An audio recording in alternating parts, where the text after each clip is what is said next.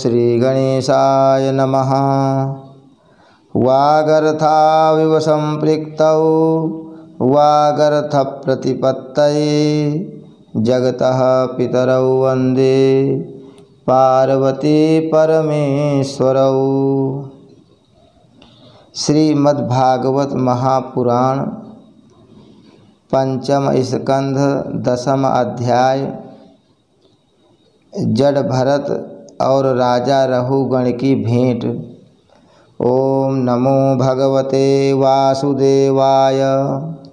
श्रीशुक उवाच। अथ सिन्धुसौवीरपते रहुगणस्य व्रजत इक्षुमत्यास्तटे। तत्कुलपतिना शिविकावाह पुरुषान्वेषणसमये दैवेनोपसादितः। सदद्य स द्विजवर उपलब्ध एष पीवा युवा सङ्घननाङ्गो गोखरवद्धुरं वोढुमल, वोढुमलमिति पूर्ववृष्टिगृहीतैः। सह गृहीतः प्रसभ, मतदरः उवाह शिविकां स महानुभावः।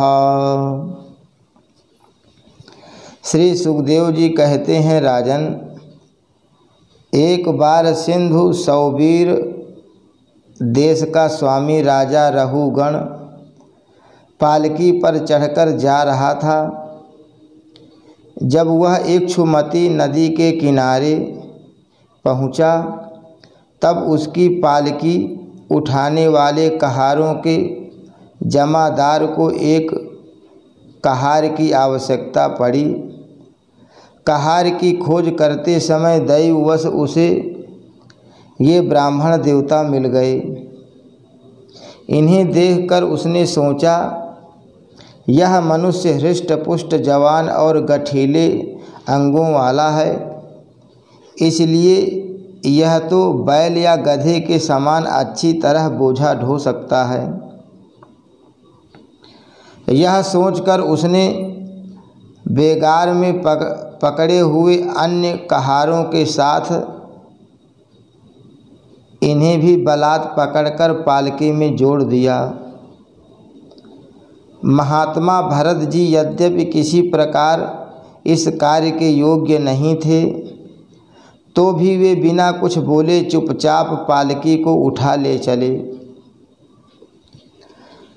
वे द्विजवर कोई जीव पैरों तले दब न जाए। इस डर से आगे की एक बाण पृथ्वी देखकर चलते थे। इसलिए दूसरे कहारों के साथ उनकी चाल का मेल नहीं खाता था। अतः जब पालकी टेढ़ी सीधी होने लगी, तब यह देखकर राजा रहुगण ने पालकी उठाने वालों से कहा, अरे कहारों, अच्छी तरह चलो। पालकी को इस प्रकार ऊँची नीची करके क्यों चलते हो?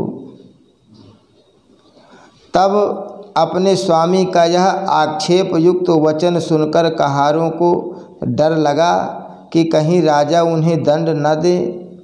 इसलिए उन्होंने राजा से इस प्रकार निवेदन किया, हे महाराज यह हमारा प्रमाद नहीं है। हम आपकी नियम मर्यादा के अनुसार ठीक ठीक ही पालकी ले चल रहे हैं। यह एक नया कहार अभी अभी पालकी में लगाया गया है तो भी यह जल्दी जल्दी नहीं चलता। हम लोग इसके साथ पालकी नहीं ले जा सकते। कहारों के ये दीन वचन सुनकर राजा रहुगण ने सोचा संसर्ग से उत्पन्न होने वाला दोष एक व्यक्ति में होने पर भी उससे संबंध रखने वाले सभी पुरुषों में आ सकता है। इसलिए यदि इसका प्रतिकार न किया गया तो धीरे धीरे ये सभी कहार अपनी चाल बिगाड़ लेंगे। ऐसा सोचकर राजा रहुगण को कुछ क्रोध हो आया। यद्यपि उसने महापुरुषों का सेवन किया था, तथापि क्षत्रिय स्वभाववश बलात् उसकी बुद्धि रजोगुण से व्याप्त हो गई और वह उन दुजस श्रेष्ठ से जिनका ब्रह्म तेज भस्म से ढके हुए अग्नि के समान प्रकट नहीं था, इस प्रकार व्यंग से भरे वचन कहने लगा, अरे भैया बड़े दुख की बात है।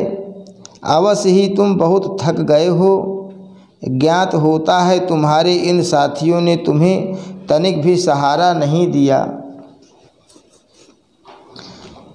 इतनी दूर से तुम अकेले ही बड़ी देर से पालकी ढोते चले आ रहे हो। तुम्हारा शरीर भी तो विशेष मोटा, ताज़ा और हट्टा कट्टा नहीं है। और मित्र बुढ़ापे ने अलग तुम्हें दबा रखा है।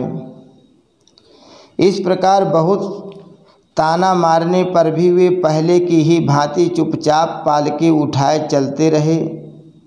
उन्होंने इसका कुछ भी बुरा नहीं माना, क्योंकि उनकी दृष्टि से तो पंचभूत इंद्रिय और अंतकरण का संघात, यह अपना अंतिम शरीर अविद्या का ही कार्य था। वह विविध अंगों से युक्त दिखाई देने पर भी वस्तुतः था ही नहीं।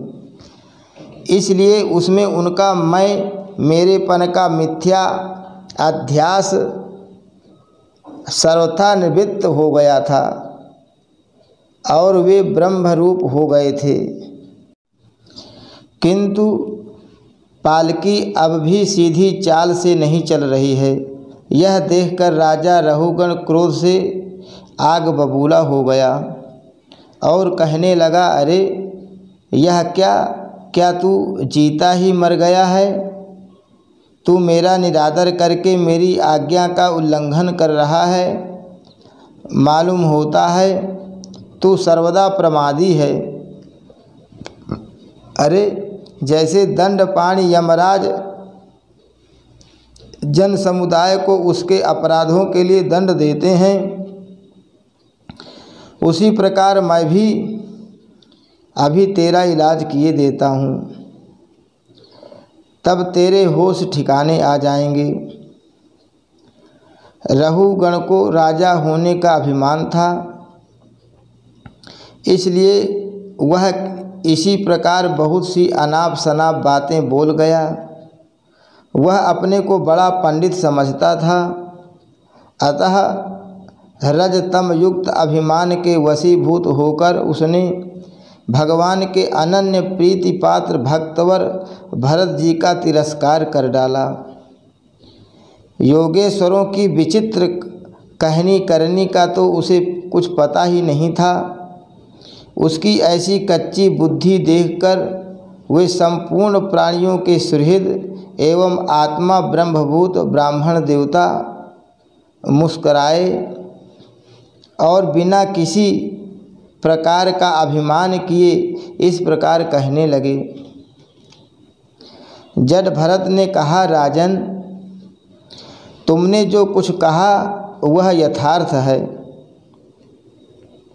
उसमें कोई उलाहना नहीं है। यदि भार नाम की कोई वस्तु है तो ढोने वाले के लिए है। यदि कोई मार्ग है तो वह चलने वाले के लिए है। मोटापन भी उसी का है। यह सब शरीर के लिए कहा जाता है, आत्मा के लिए नहीं। ज्ञानी जन ऐसी बात नहीं करते। स्थूलता कृषता आधि व्याधि, भूख, प्यास, भय, कलह, इच्छा, बुढ़ापा, निद्रा, प्रेम, क्रोध, अभिमान और शोक, ये सब धर्म, देहाभिमान को लेकर उत्पन्न होने वाले जीव में रहते हैं। मुझमें इनका लेस भी नहीं है। हे राजन, तुमने जो जीने मरने की बात कही, सो जितने भी विकारी पदार्थ हैं, उन सभी में नियमित रूप से ये दोनों बातें देखी जाती हैं। क्योंकि वे सभी आदि अंत वाले हैं। यशस्वी नरेश जहाँ स्वामी सेवक भाव स्थिर हो, वहीं आज्ञा पालनादि का नियम भी लागू हो सकता है।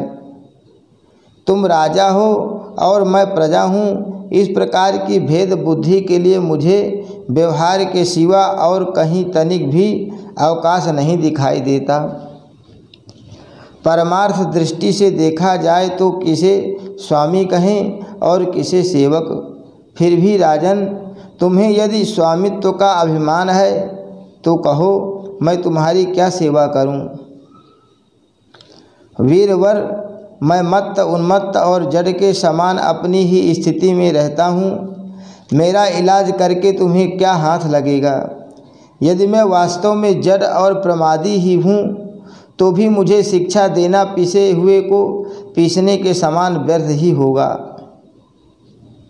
श्री सुखदेव जी कहते हैं परीक्षित, मुनिवर जड़ भरत यथार्थ तत्व का उपदेश करते हुए इतना उत्तर देकर मौन हो गए। उनका देहात्म बुद्धि का हेतुभूत अज्ञान निवृत्त हो चुका था, इसलिए वे परम शांत हो गए थे।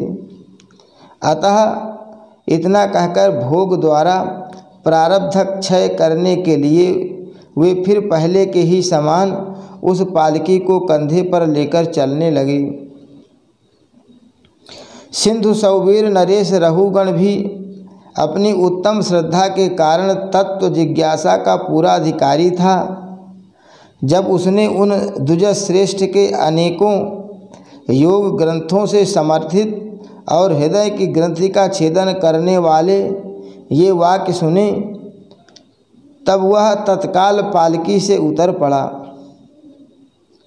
उसका राजमद सर्वथा दूर हो गया और वह उनके चरणों में सिर रखकर अपना अपराध क्षमा कराते हुए इस प्रकार कहने लगा, हे देव, आपने द्विजों का चिन्ह यज्ञोपवीत धारण कर रखा है। बतलाइए, इस प्रकार प्रसन्न, प्रच्छन्न भाव से विचरने वाले आप कौन हैं? क्या आप दत्तात्रेय आदि अवधूतों में से कोई हैं? आप किसके पुत्र हैं? आपका कहाँ जन्म हुआ है? और यहाँ कैसे आपका पदार्पण हुआ है? यदि आप हमारा कल्याण करने पधारे हैं तो क्या आप साक्षात सत्य मूर्ति भगवान कपिल जी ही तो नहीं हैं? मुझे इंद्र के वज्र का कोई डर नहीं है। न मैं महादेव जी के त्रिशूल से डरता हूँ और न यमराज के दंड से। मुझे अग्नि, सूर्य, चंद्र, वायु और कुबेर के अस्त्र शस्त्रों का भी कोई भय नहीं है। परंतु मैं ब्राह्मण कुल के अपमान से बहुत ही डरता हूँ। अतः कृपया बतलाइए, इस प्रकार अपने विज्ञान और शक्ति को छिपाकर मूर्खों की भांति विचरने वाले आप कौन हैं? विषयों से तो आप सर्वथा अनासक्त जान पड़ते हैं। मुझे आपकी कोई थाह नहीं मिल रही है, साधो। आपके योग युक्त वाक्यों की बुद्धि द्वारा आलोचना करने पर भी मेरा संदेह दूर नहीं होता। मैं आत्मज्ञानी मुनियों के परम गुरु और साक्षात श्री हरि की ज्ञान शक्ति के अवतार योगेश्वर भगवान कपिल से यह पूछने के लिए जा रहा था कि इस लोक में एकमात्र शरण लेने योग्य कौन है? क्या आप वे कपिल मुनि ही हैं जो लोगों की दशा देखने के लिए इस प्रकार अपना रूप छिपाकर विचर रहे हैं?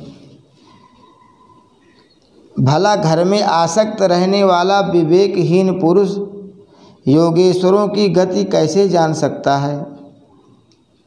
मैंने युद्धादि कर्मों में अपने को श्रम होते देखा है, इसलिए मेरा अनुमान है कि बोझा ढोने और मार्ग में चलने से आपको भी अवश्य ही होता होगा।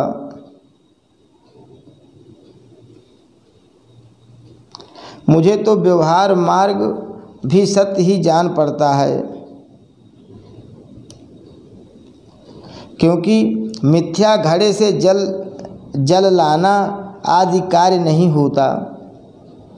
देहादि के धर्मों का आत्मा पर कोई प्रभाव ही नहीं होता, ऐसी बात भी नहीं है। चूल्हे पर रखी हुई बटलोई जब अग्नि से तपने लगती है, तब उसका जल भी खोलने लगता है। और फिर उस जल से चावल का भीतरी भाग भी पक जाता है।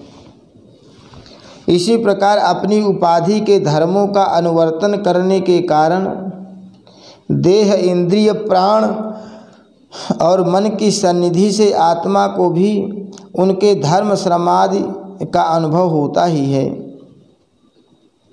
आपने जो दंडादि की व्यर्थता बताई, सो राजा तो प्रजा का शासन और पालन करने के लिए नियुक्त किया हुआ उसका दास ही है। उसका उन्मत्तादि को दंड देना, पिसे हुए को पीसने के समान व्यर्थ नहीं हो सकता। क्योंकि अपने धर्म का आचरण करना भगवान की सेवा ही है। उसे करने वाला व्यक्ति अपनी संपूर्ण पाप राशि को नष्ट कर देता है। हे दीन बंधो राजत्व के अभिमान से उन्मत्त होकर मैंने आप जैसे परम साधु की अवज्ञा की है, अब आप ऐसी कृपा दृष्टि कीजिए, जिससे इस साधु अवज्ञा रूप अपराध से मैं मुक्त हो जाऊँ। आप देहाभिमान शून्य और विश्व बंधु श्रीहरि के अनन्य भक्त हैं, इसलिए सब में समान दृष्टि होने से इस मानापमान के कारण आप में कोई विकार न हो सकता तथापि एक महापुरुष का अपमान करने के कारण मेरे जैसा पुरुष साक्षात त्रिशूल पाणी महादेव जी के समान प्रभावशाली होने पर भी अपने अपराध से अवश्य थोड़े ही काल में नष्ट हो जाएगा। हरि शरणम श्री कृष्णार्पणमस्तु